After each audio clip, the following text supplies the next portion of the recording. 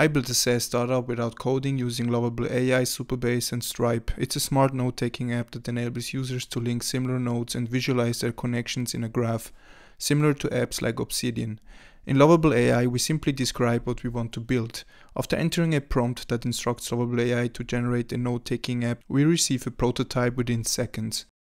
Next, we set up user authentication, allowing users to sign up and log in with their name, email, and password.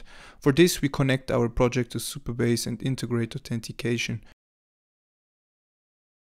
Sometimes an error occurs, but it's not something to worry about. Most of the time, simply asking the chatbot to solve the problem is enough. To make it easier, we disable email confirmation in the authentication provider section in Supabase for now. We can see my user ID after signing in.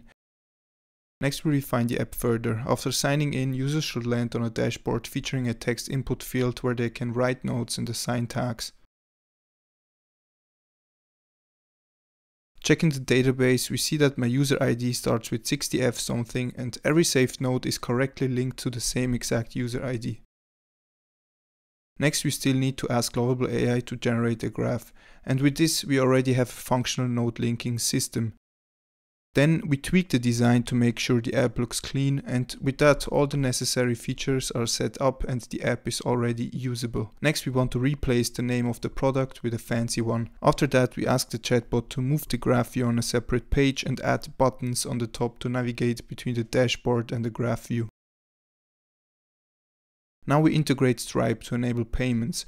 After signing up, we switch to test mode and copy the secret API key into Lovable AI. We then create a new product in Stripe,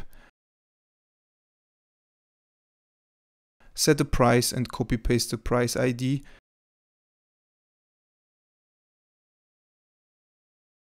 And make sure Stripe is implemented with the help of Lovable AI. We preview the app in the browser and test the payment process by signing up with a new account. Instead of being directed straight to the product, a Stripe checkout window appears.